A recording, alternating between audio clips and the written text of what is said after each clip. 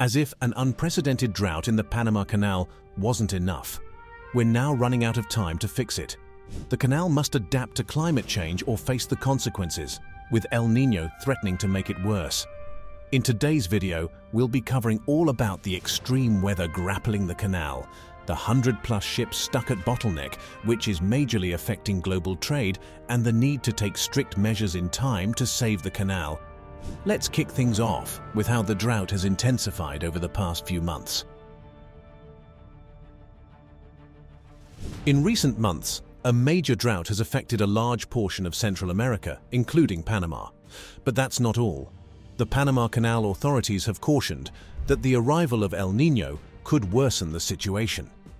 The tropical Pacific Ocean's El Nino, a natural phenomena, often results in warmer than average temperatures. It's predicted to raise global temperatures this year, possibly making 2023 or 2024 the highest year ever recorded. The result?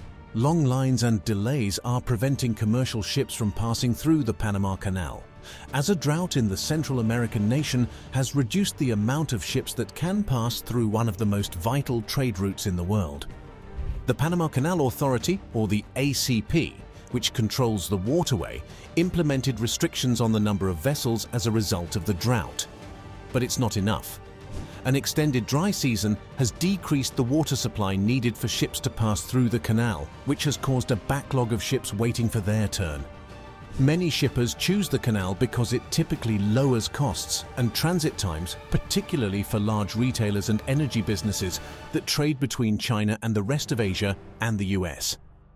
The ACP has stated that it is facing unprecedented challenges and that even when compared to the previous drought in 2019-2020, the severity of the current drought has no historical precedent. By the way, make sure to subscribe to our channel so you don't miss out on any latest news. A severe lack of rainfall, a direct result of the looming threat of global warming, is at the heart of the Panama Canal crisis. The water levels of the lakes that feed the crucial locks of the Panama Canal have dropped from the lack of rain. One of these lakes, Lake Alajuela, is a stark illustration of the problem at hand. It is prominently located in the Colon region, some 50 kilometers north of Panama City. As it helps to keep the water levels required for the canal locks to operate effectively, Lake Alajuela is crucial to the operation of the Panama Canal. However, because of the long-lasting effects of global warming, Lake Alajuela's water levels have gradually dropped, posing a serious problem for the canal's operations. In order to send ships via a series of locks that act as water elevators and raise the ships up and over the continent between the Atlantic and Pacific Oceans, the canal depends on rainwater. So now, operators have been compelled to limit the number of vessels passing through, which will cause earnings to decline by $200 million in 2024.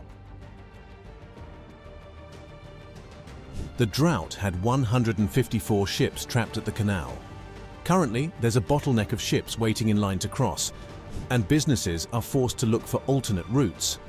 The 50-mile byway moves about 6% of all maritime trade worldwide and is expected to generate $4.9 billion in income by the end of 2023. In the past, the Panama Canal, a marvel of modern engineering, connected the Atlantic and Pacific Oceans. But the current circumstance reveals a reality that is remarkably different. It's a crucial passageway for transportation between the Pacific and Atlantic Oceans, assisting ships to avoid the trip around Cape Horn as they mainly transport goods from Asia to ports on the east coast of the United States.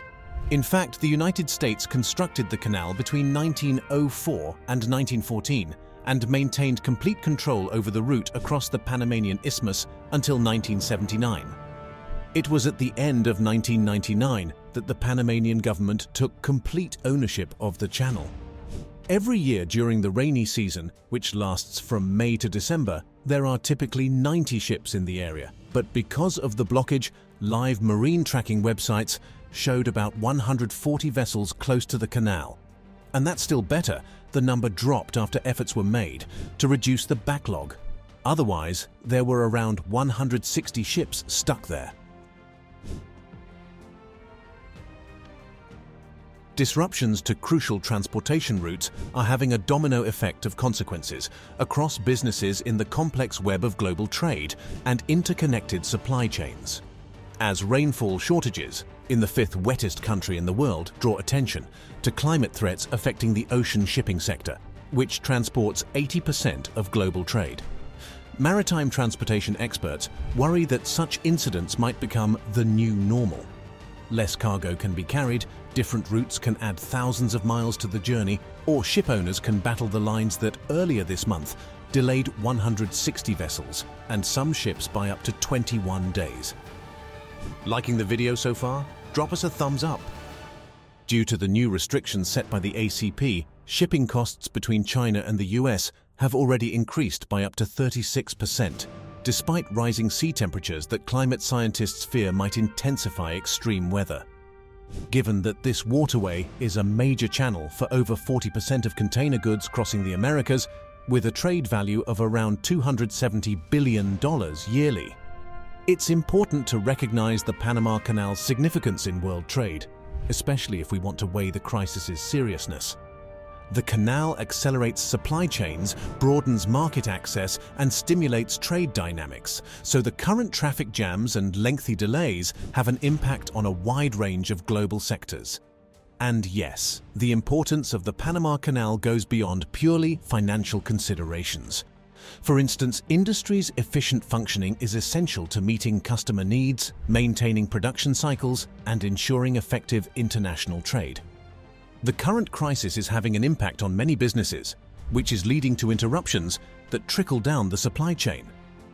Industries that depend on fast delivery, from manufacturing to retail, face risks that can result in shortages, affect market stability, and affect consumer pricing.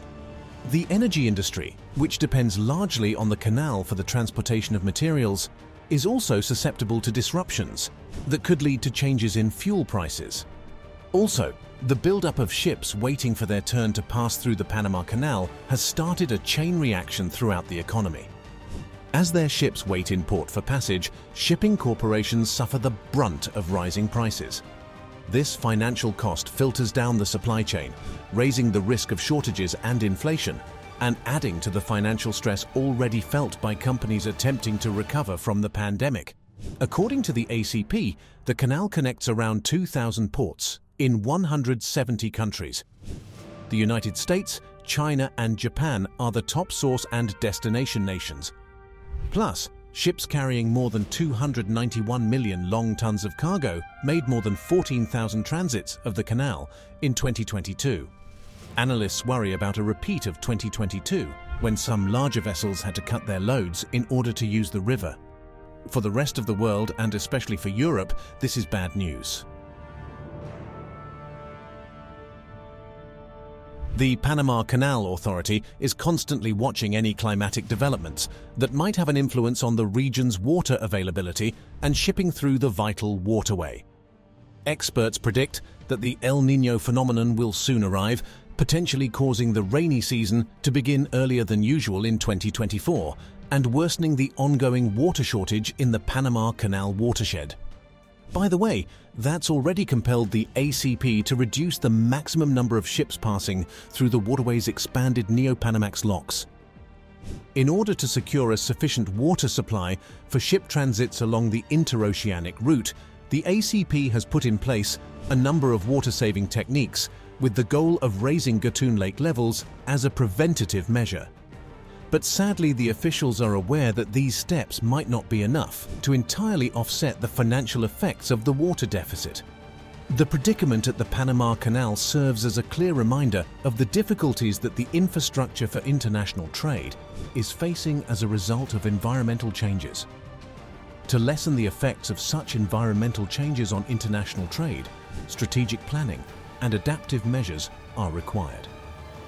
It's unclear if these steps will be enough in the long run, but it's evident that the canal will require a lot of attention in the years to come. Not just because of its significance in international trade, but also because of its vulnerability to climate change. So let us know in the comments below what you think about the Panama Canal drought affecting the global economy. We'll see you in the next video.